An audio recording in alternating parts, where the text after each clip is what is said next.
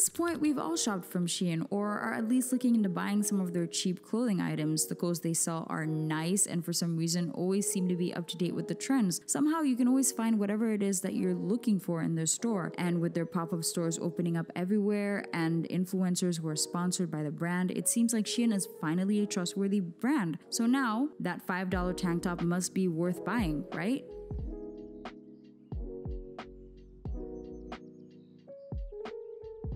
So, what's the real problem with Shein? Why is it necessary to expose the brand? Also, why should you care? First, we need to talk about how Shein started and the reputation they had at first. When Shein was gaining popularity in the late 2010s, people wondered whether it was a trustworthy clothing store or not, and reviews would vary. There were still and still are a bunch of Shein hauls questioning their legitimacy because the clothes they offer are unbelievably cheap and well, too good to be true. Over time, more and more people began gaining interest in Shein and their clothes. The problems concerning the company were all over the internet. Buyers would complain about all types of problems, including packages never arriving, missing items, or low quality products.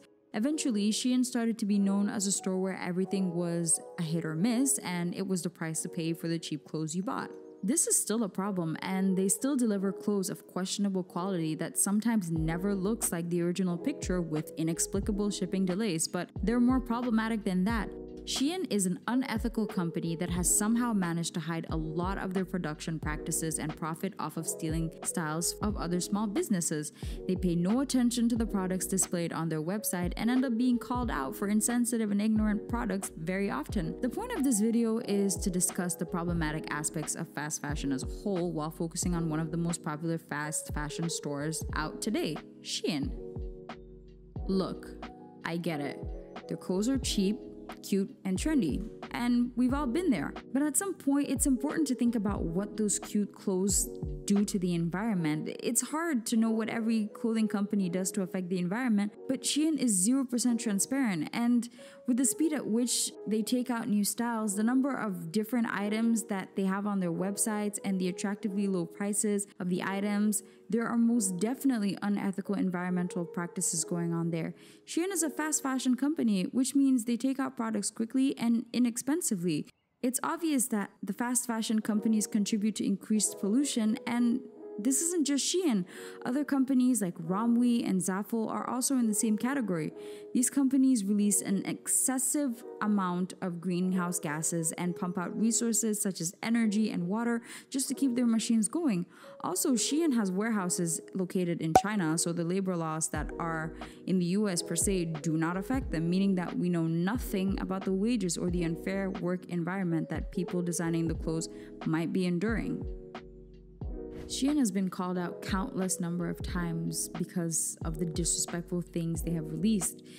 It's obvious this video is not going to change anything, but yeah. In late 2020, they released mats under the category of decorative rugs. The main issue with this release is the fact that they used Muslim prayer mats, which is a complete disrespect to the Islamic religion. Not long after that, they released these necklaces. It's literally a swastika symbol. Shein's PR team offered an apology claiming it was a mistake. Hmm, a mistake. A huge international company participating in Paris Fashion Weeks does not have someone on their team who knows what a prayer mat is or the meaning behind a swastika symbol? Okay. This just further proves that their company does not care about what they produce, only the profit they make out of it. In fact, recently, someone else called out Shein for selling extremely insensitive phone cases, and the response was admitting that they stole the design and claiming that it was to show support for the Black Lives Matter movement. How is that support though? Just how? Now, Shein has been problematic and will keep being problematic.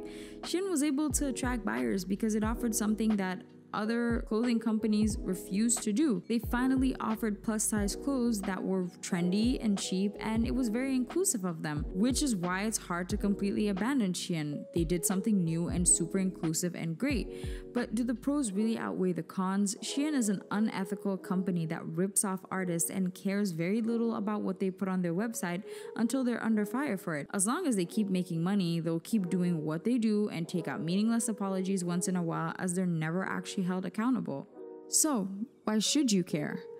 Fast fashion is a term you might have heard here and there, but never paid much attention to it because the name in itself doesn't sound alarming. But the fact of the matter is, this is the most dangerous kind of issue because it doesn't affect the general public on a day to day basis until the problem becomes unavoidable because it's irreversible.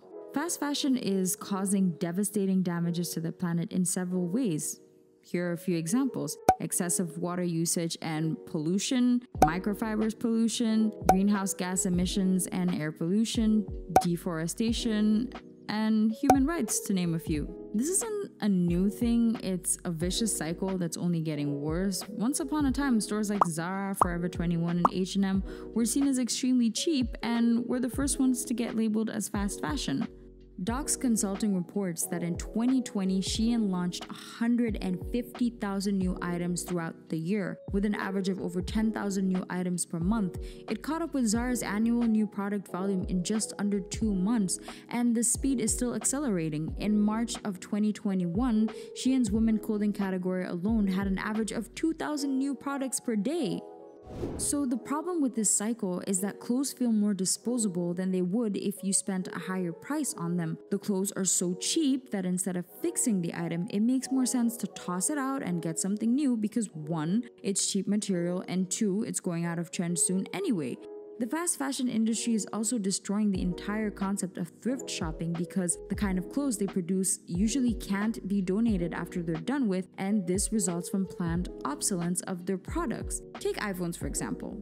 In today's world, it's completely normal to replace your iPhone yearly even though nothing's wrong with it, just because a new one is out. And this is all due to our attention spans getting shorter. It usually takes me time to notice or really appreciate a new trend, and honestly, by the time I jump on it, it's never too long before something new comes in, and that's not cool anymore. We just don't enjoy clothes the way we used to before. In one decade, we went from calling Y2K's aesthetic hideous to already following those trends again. In the 2000s decade, we went through an 80s inspired fashion era, a 90s inspired fashion era, and we're already back to a 2000s fashion era. The fact that there are no longer any traces of what we wore between 2017 and 2018 should be an indication of how quickly things are moving. Seriously, just look at your wish list from two years ago and tell me you're not repulsed by what's in there. And it sounds normal, but when you think about it, it really isn't. Even in a global pandemic where people were supposed to be stuck at home, the fashion trends still changed rapidly. This isn't the general public's fault though. You don't have to leave your house to be tempted anymore. The shop is right at your fingers and it's hard to ignore. When you're getting notifications on your phone that there's this huge sale, you're probably going to look at it. Not just that, but the fashion industry has been completely neglectful of plus sized people who often have to resort to overpaying for very basic items. Long story short, the fast fashion industry only cares about money and has crafted the perfect cycle to keep it going. Selling cheaper clothes, as their prices fall, so does the quality because of planned obsolescence. While the prices are dropping, fashion trends are accelerating, and this creates an incentive for people to buy more clothes to keep up with the trends. Here's the deal this isn't some black and white situation where you're bad because you buy from Shein or vice versa. This is just the result of an already flawed fashion industry that has only and always catered to the needs of the rich and the pretty. Companies like Shein simply saw an opportunity to come in and provide what those other companies couldn't do in the past. This video isn't made to demonize anyone who purchases from fast fashion companies. The intent is simply to discuss the diverging ways in which faraway companies such as Shein may be affecting our lives lives without our knowledge. If you enjoyed this video, please like and subscribe and also don't hesitate to leave your thoughts down below.